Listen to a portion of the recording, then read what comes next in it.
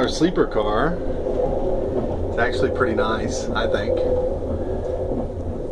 to open the door to shut that. We had our big Ebola scare. And I got Ebola. so don't do not repeat that, especially not in anywhere travel Chris station because we will be freaking detained if you say that. Let's start over. But the thing is pretty cool, man. We got little bunk beds.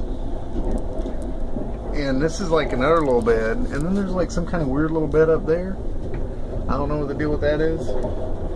And I got my little bed. and we got waters. And uh, this is the lock that can be opened from the outside. And this lock can only be opened from the inside.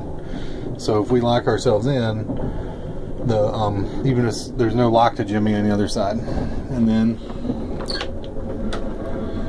here's our little bathroom with a shower in it.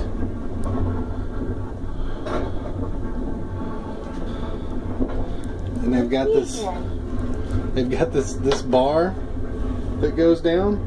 So when you take a shower, if the train rocks, you can catch yourself on the bar. Just monkeying around.